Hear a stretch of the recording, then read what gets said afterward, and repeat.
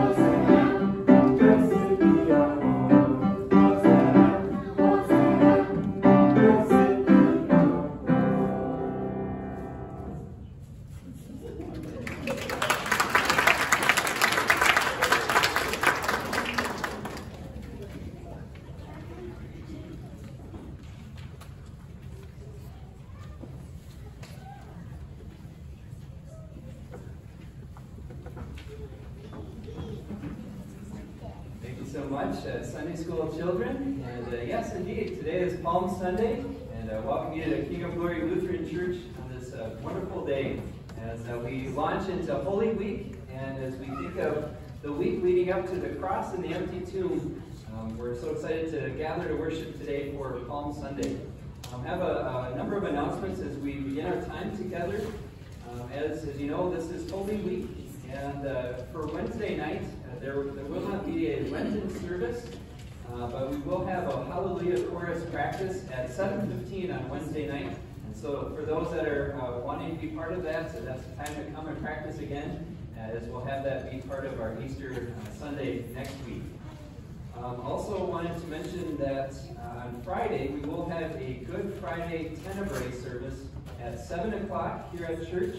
And excited for that as well. It's, it's one of my favorite times uh, in, in, the church to come and to gather uh, with the extinguishing of candles and, uh, of course, the slamming of the door, uh, King of Glory tradition, uh, as we mark the, the closing of, of, the tomb after Christ has been crucified. So come on out uh, on Friday night uh, for that, uh, for our Good Friday Tenebrae service at 7.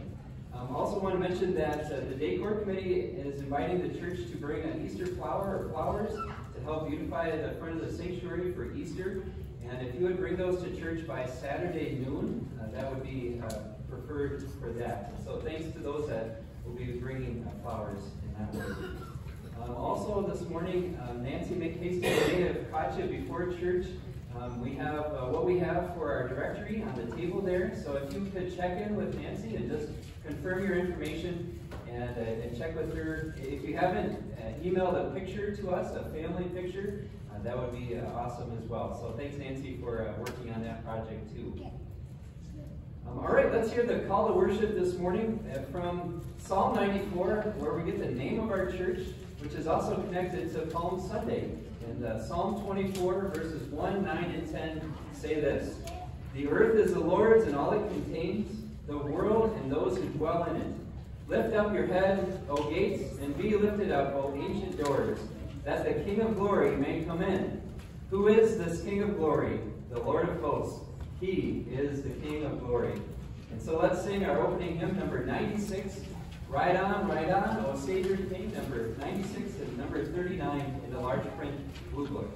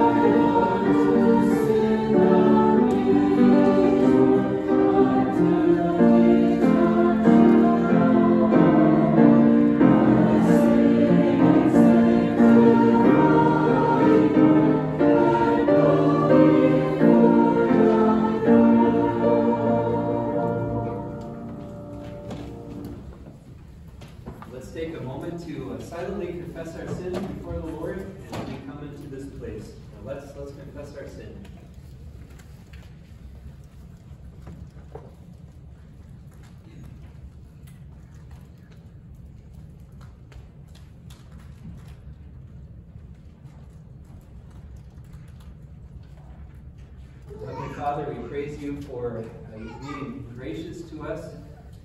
Lord, as we think about the events of Holy Week this week, that you would impress upon our hearts the, the reason that it was necessary. Uh, because we're sinners in need of saving. And not only that, but your heart of love compelled you to come and to go through the great suffering of, of dying on the cross for our sin. We thank you for that today. Thank you for your grace that you pour out to us, you lavish upon us through your word, through your spirit at work through your word. We receive that today in this service, and we want to seek it every day of our lives as we grow with you, as we walk with you, as your followers, your disciples. So thank you for the forgiveness of sins that you extend to us and uh, give to us today. We pray in Jesus' name. Amen. And would you please stand for the reading of scriptures and well, there's Tim right there. Uh, so Tim would read uh, the scripture this morning.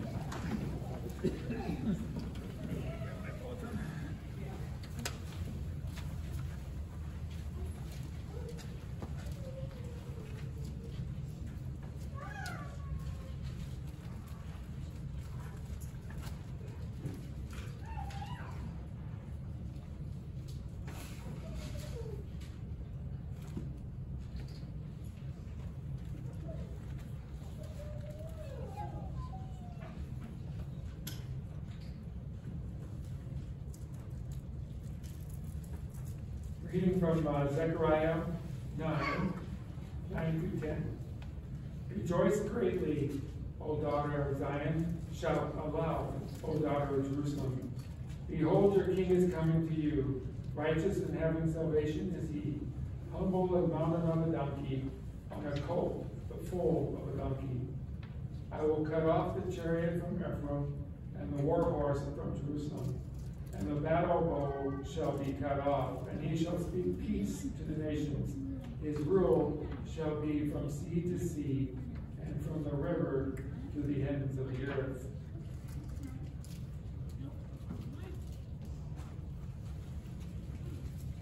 And reading from uh, the New Testament reading is from John 12, uh, 20 to 33. Now among those who went up to worship at the feast were some Greeks. So these came to Philip, who was from Bethsaida in Galilee, and asked him, Sir, we wish to see Jesus. Philip went and told Andrew. Andrew and Philip went and told Jesus. And Jesus answered them, The hour has come for the Son of Man to be glorified. Truly, truly, I say to you, Unless a grain of wheat falls into the earth and dies, it remains alone. But if it dies, it bears much fruit. Whoever loves his life loses it, and whoever hates his life in this world will keep it for eternal life. If anyone serves me, he must follow me, and where I am, there will my servant be also. If anyone serves me, the Father will honor him. Now is my soul troubled, and what shall I say? Father, save me from this hour? But for, with, for this purpose I have come to this hour. Father, glorify your name. Then a voice came from heaven. I have glorified it, and I will glorify it again. The crowd that stood there and heard it said that it had thundered. Others said that an angel had spoken to them. Jesus answered, This voice has come for your sake, not mine. Now is the judgment of this world. Now will the ruler of this world be cast out. And when I am lifted up from the earth, will draw all people to myself. He said this to show what kind of death he was going to die. You may be seated. Welcome the worship team for special music uh, piece at this time.